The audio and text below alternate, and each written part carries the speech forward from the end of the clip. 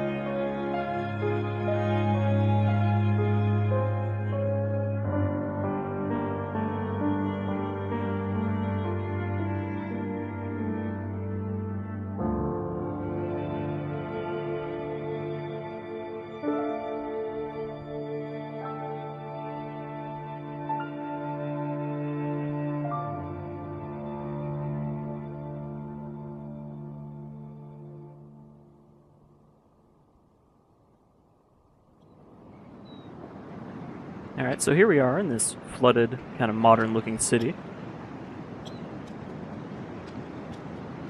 We are this young lady whose presumably younger brother is uh, sick and or injured.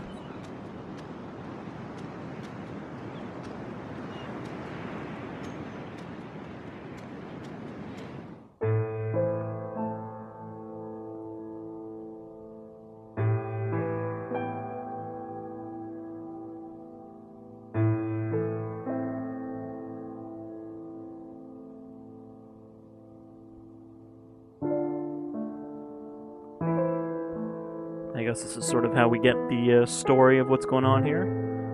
A village on top of some sort of wooden platform or something up into the ocean. Uh, a family, parents, kids.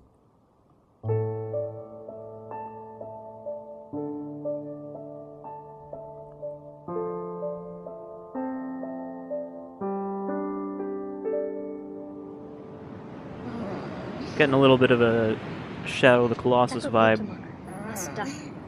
Just the kind of idea that we've got, I guess, this sort of hub building with the uh, injured little brother. Of course, he's not actually dead, so uh, he's got a one-up from Mysterious Lady. Alright, so we got our story. It looks like we've got maybe explanation of how the city ended up like this. Uh, some creatures, I guess we'll see those. And landmarks. So again, this is, uh, from what I understand, this is a fairly open, just sort of Speaking of creatures, sweet whale. It's sort of just an open, explore the city, find uh, important things. I think we have to find like medical supplies or something like that. Also, this is an Unreal Engine 4 game. Uh, I've mentioned before that I've got kind of a, uh, a dislike for the general look of a lot of lower, well, I guess lower budget, but also a smaller team kind of Unreal Engine 3 games. I find they generally don't look very good, and I think this definitely kind of improves over that. Uh, the buildings still look a little disconnected, I guess, from the, the ocean. Like, the ocean kind of looks a bit more cartoony or something. But uh, overall, I think this looks pretty good so far.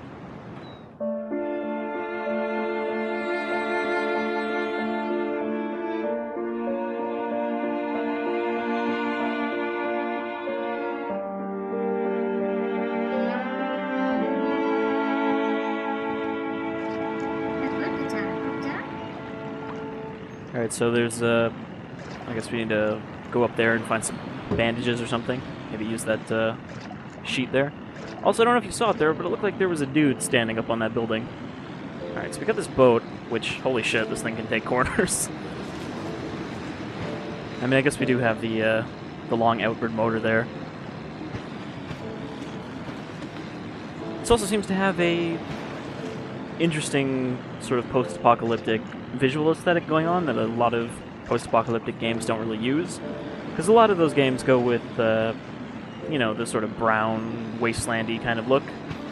A sort of Mad Max-inspired wasteland. But uh, less of them go with the kind of overgrown but otherwise kind of still intact uh, civilization look you know, the sort of nature is reclaiming what was once lost. And also, the, uh, like, take a look at this boat here. It's got sort of tribal carving on it, but clearly it's also got a motor, so it's sort of a, you know, post-apocalyptic tribal society, but still kind of maintaining the, uh, some of the technology. And that's the sort of thing that also doesn't get done a lot. That's like, uh, Jeez, what was that? Journey to the West based game. What was that? Enslaved had that aesthetic, even though you don't really see a lot of other people.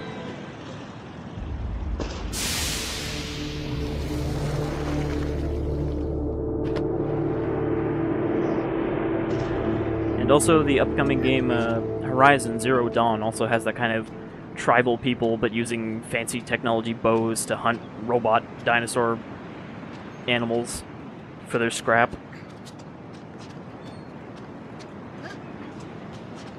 Sort of like, I guess that would be more of a, a post-post-apocalypse kind of thing. You know, people have sort of recovered and banded together into small groups. Alright, so it's a very simplistic kind of platforming going on here. It doesn't look like we really... Like, I can't, you know, jump other than where there's a point to jump to. It looks like we've got these sort of red flowers doing a mirror's edge kind of thing of, hey, you can climb here. As someone who's kind of into urbex, I really like the idea of just exploring this big-ass, abandoned, you know, flooded modern city. So there aren't really a lot of examples of that. Obviously, Pripyat is kind of the closest thing to a modern ghost town. Or Battleship Island, but you can't really go there. Alright, what's this? Collectible, I'm guessing? Alright. Uh, swirly. I guess that would be okay, the city story. So what? There was a there was a storm, a hurricane maybe? A portal, who knows?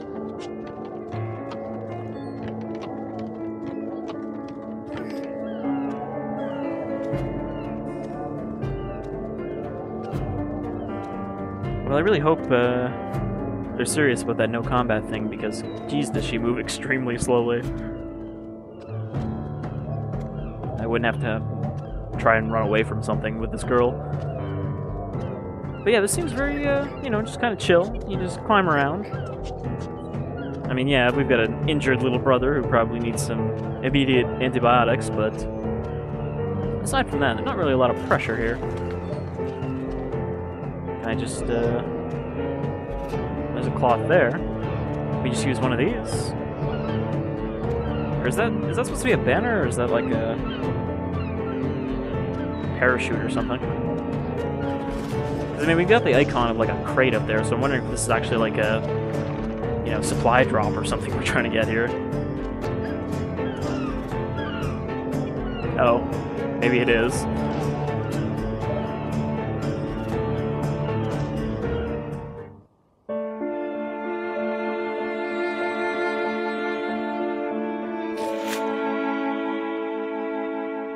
We didn't even have to fight off Rais's men to get this one.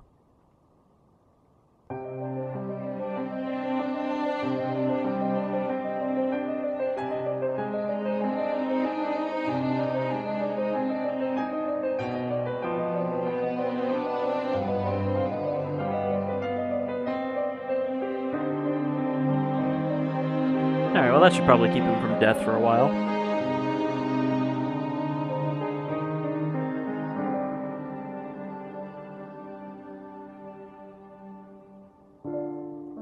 So I guess these little story segments are kind of gated by us finding stuff in the city. And then she comes back here, takes a nap, and we see more of the story. So I'm guessing that's Dad, and Dad was a fisherman. Hmm.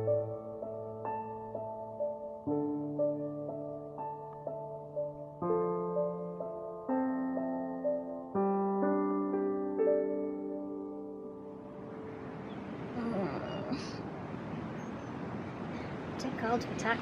Need to I feel like her uh, her fancy little scarf thing there is probably not very durable, considering all the holes in it. Like, it kind of looks tattered from a distance, but up close you can see it's actually supposed to be like that. Alright, so let's head out into the world. Okay, now we got a spyglass. So I guess this is how we find kind of points of interest in the city. Kind of looking around.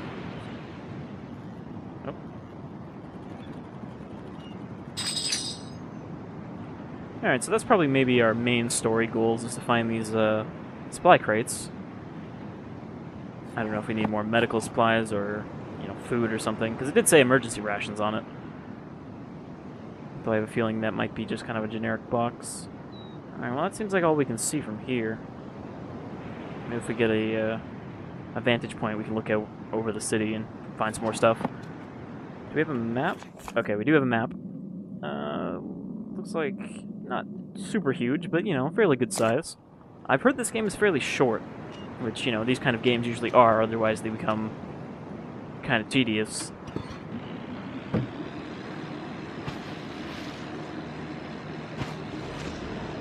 There's that whale again. Alright. So I guess we just have to examine a creature to get the little note on it.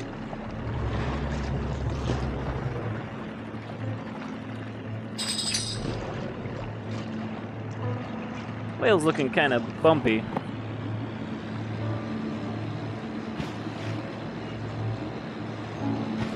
wonder if I can just track it. And maybe a little bioluminescent? Yeah, he's got like glowing blue pustules.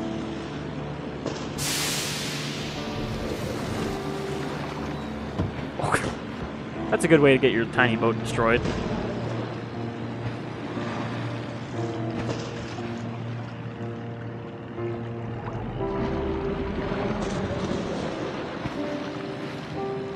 Alright, so is this like a, a post-apocalyptic mutation?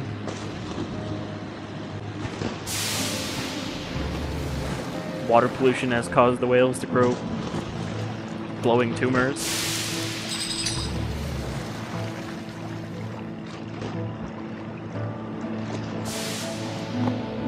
I kind of wonder, like, if there actually was a flooded city like this, do you think whales would actually swim between the streets? I feel like they'd be a little too, you know, close together and dangerous for a big whale.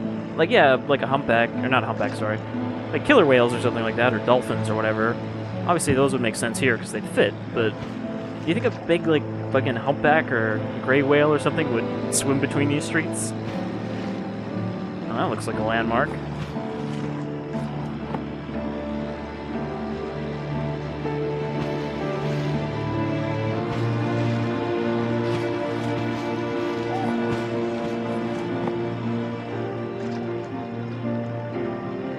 What was that sound?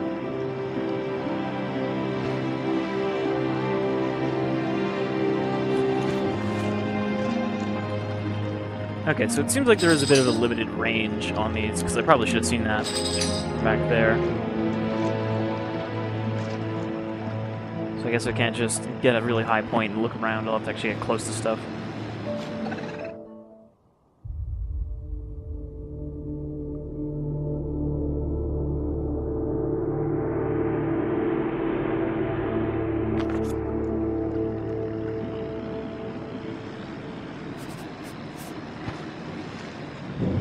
Saw something in the water there. Okay, so now we've got a boost. There's definitely something going... Oh, is that a dolphin? Oh, look. They've also got the, the weird green and blue tumors. Yeah, they're following my boat, aren't they?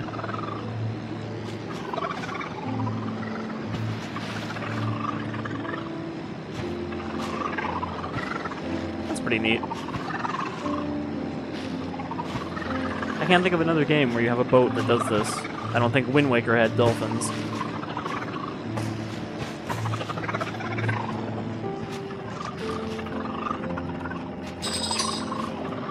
So what are these uh, secrets? Okay, those are probably those journals or whatever.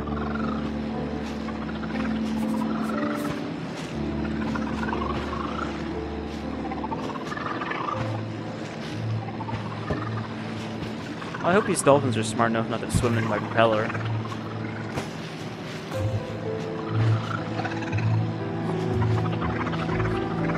Yeah, this seems, you know, kind of relaxing the same way that sailing in Wind Waker was, where you're just kind of going around looking for stuff. Except here, you don't have to worry about bombs or, you know, giant sea monsters.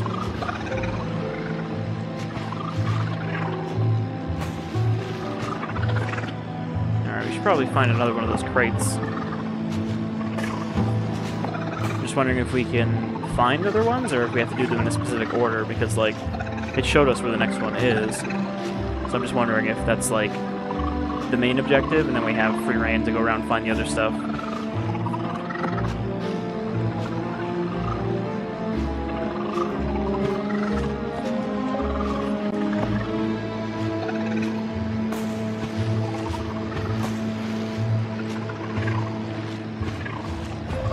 I guess we can probably only explore the stuff that there's some way to climb up on. Like we gotta find some sort of ledge or something that we can actually get off the boat.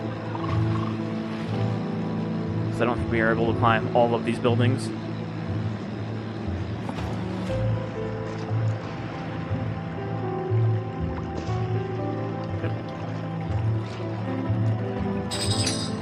Another boat upgrade?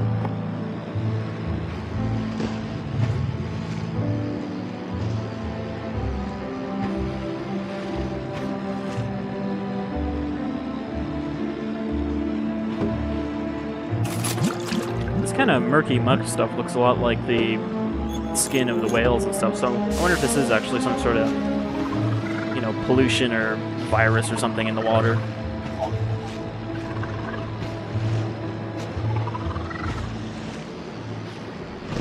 Oh, slammed into that whale. Probably would have died there, or at least capsized. Now let's head towards this uh, box over here.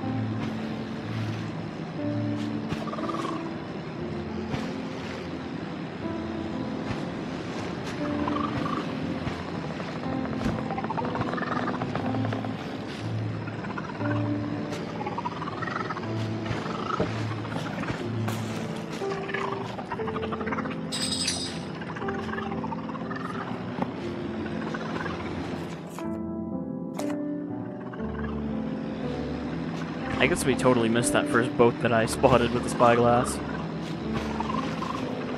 That was like right next to our starting point, but I'll just get that later.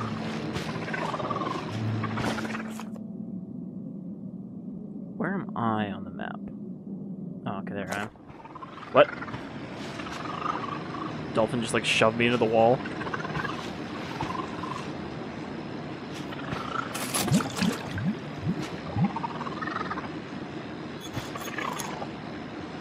That just increasing our boost, it seems like? I wonder if you get other boat upgrades.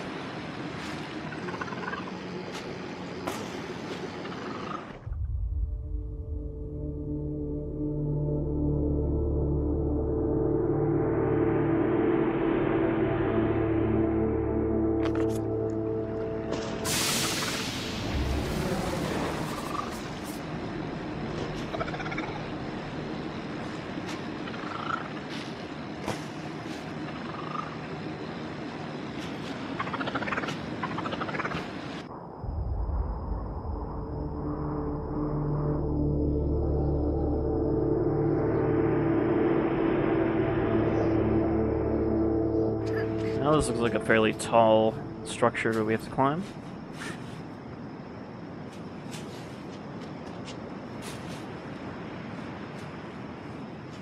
So, aside from the climbing, which is pretty basic, this seems, you know, pretty much just a wandering exploration sailing kind of simulator. Oh. Is that another man thing?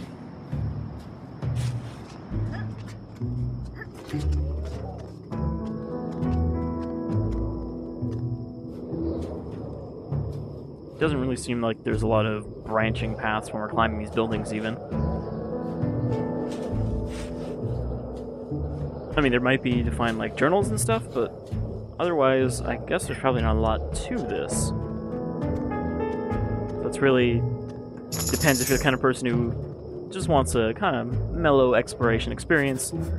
But if so, you're probably the kind of person who also enjoys the, you know, aforementioned walking simulator type games. I do like that there's at least some interaction here. Like, it's not just like, oh, you're wandering around until you hit the vocal trigger point. Even if it's very basic.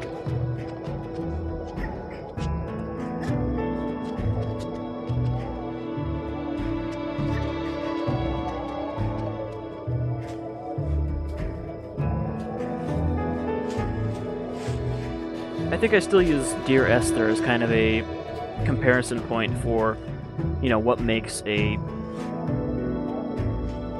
very ambient kind of game versus like a game where you walk around to trigger stuff. Because that's all you did in Dear Esther. You didn't open doors or, you know, even try to find your way. You just walked around until you hit a trigger point where a voice clip would play.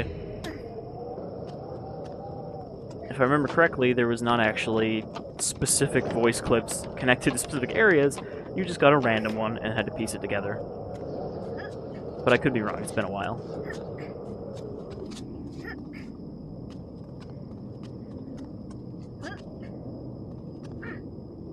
We're gonna get up there. Really? How are you climbing that, child?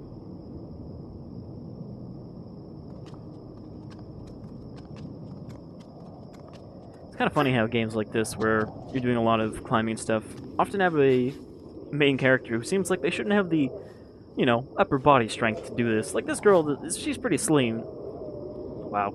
I don't know what I was trying to say there. I said like slim and lean at the same time. She's pretty slim, yo. But yeah, she is. She's pretty small. Like she probably doesn't have a lot of, you know, upper body strength. So uh, I don't know if she'd have the stamina to climb these sort of things. And like Sh Shadow of the Colossus, also, of course, there, he, uh, the main character is quickly boosted by stealing the souls of, you know, the Colossi. But still sort of young kids doing ridiculous gymnastic feats. Oh, there's a thing down there. I just sort of hop the ledge? Of course not. But I bet there's a side path here. Yeah, looks like we can shimmy here. That's probably as much of a, a diversion from the main path you're going to get climbing these buildings.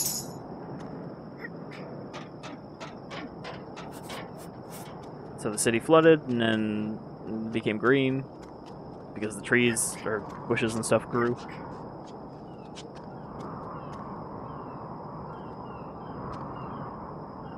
I know it's a little nitpicky too, but this palm tree type thing appears to be growing straight out of the concrete with no soil whatsoever.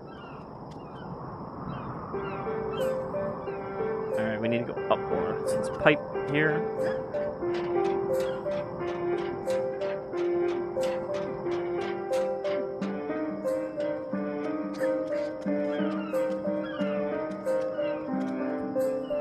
I guess to counterbalance that lack of upper body strength argument, this girl probably also doesn't weigh very much.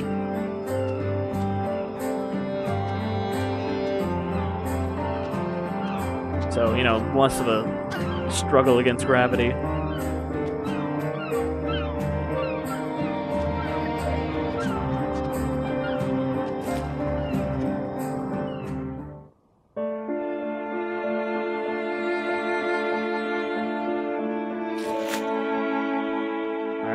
Lighter out of this one. Alright, that's definitely a humanoid mutiny figure. Maybe somebody who stayed in the city after it flooded. Instead of, you know, living on a platform like this girl apparently does.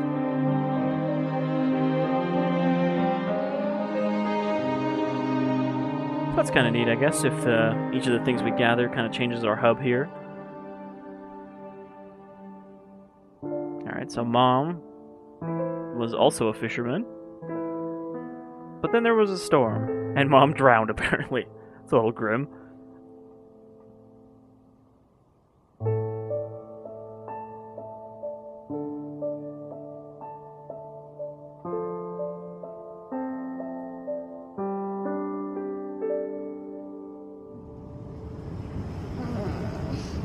Father was never the same after the storm. Tackle to festa. Get whatever. Some nights he'd just sit there staring out to sea, waiting for her to come back, but she never would. Alright, so. Got another goal here. I'm guessing even if you can find different crates, the contents of the crate will be always the same for that, you know, order. Like, no matter which crate we found, it would have been a lighter that time. But if we found a different one first, then we went to that one, that one would be something else. Like water or whatever. But uh, that seems to be, you know, the base gameplay loop of uh, Submerged here. We're just sort of exploring around, finding these crates, and I'm guessing the game probably ends after we find all of them. It looked like there was maybe 10 of them.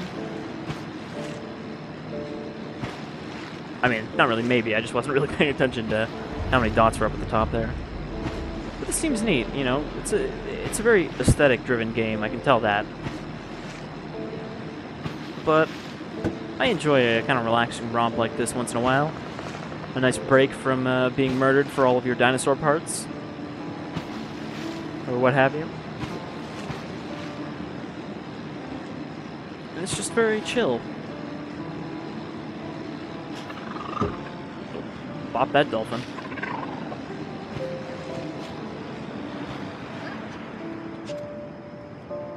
This is available on Steam. Uh, it is rather pricey for what it is, though. Uh, I've heard it's like maybe two or three hours, depending on obviously how much of these diaries and stuff you try to explore and find. But uh, it is $20 on Steam. So you definitely have to kind of enjoy these things for it to be worth your money, I think. Otherwise, you know, obviously wait for it to be on sale. It probably will be at some point. And, uh, yeah. This seems, uh, this seems alright. I like the way it looks. I like the kind of, you know, indirect story stuff it's giving you. And I like the boat. I like having a boat. Not enough games have boats. All games should have boats. I hope Just Cause 3 has more boats.